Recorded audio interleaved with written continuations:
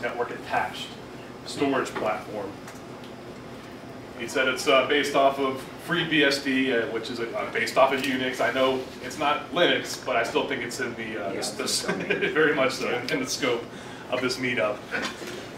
So essentially, how it works is you you have a uh, USB drive uh, that it boots off of, and that's where the operating system is stored. You the reason you want to do that is because it separates the the hard drives, so you have all the storage capacity of the hard drives, and then everything's run off of that one USB key. And I got it sticking out right here. So that's it's already preloaded with FreeNAS. I would I would demonstrate that, but it takes about five minutes to install that onto the USB drive, and I don't want to go through all that. So I've already got it preloaded onto this USB key. And you can use old hardware, it works just fine on, on just low power machines with just a couple gigabytes of RAM, just uh, slower processors.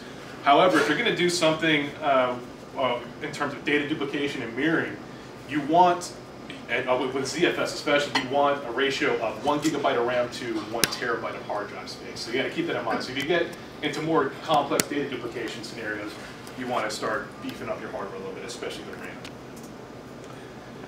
And so, uh, why FreeNAS? I, I know we talked about, we had a little discussion about Amahi, and I'm not doing a presentation on Amahi. uh, it's Amahi is a very similar type platform where you you turn uh, a machine into a network attached storage, and it's got all sorts of services that you can uh, that you can utilize. Uh, the reason I didn't do Amahi is because the data duplication is not as good as it is on FreeNAS, and I think a lot of us could benefit from this this, this turnkey, out of the box, easy data duplication scenario and, and, and platform. So that's why I didn't I didn't choose that. Also, the the uh, automatic backups uh, via rsync uh, works very well out of the box with FreeNAS, and that was kind of another uh, selling point for not not choosing Amahi. Uh, Amahi and FreeNAS they have great file sharing capabilities.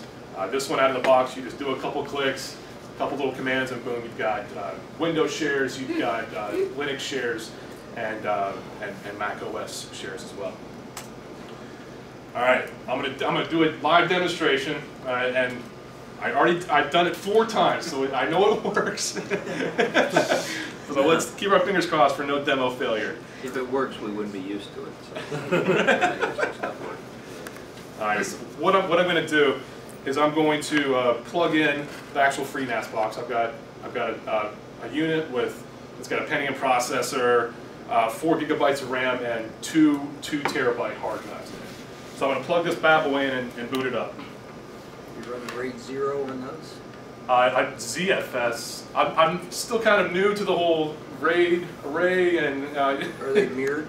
They, they, they are they are going to be mirrored, and what I'm going to do is uh, they're they're they're not allocated. That they haven't been uh, created. The file system has not been create, created on these, so I'm going to do that. It only takes a couple seconds.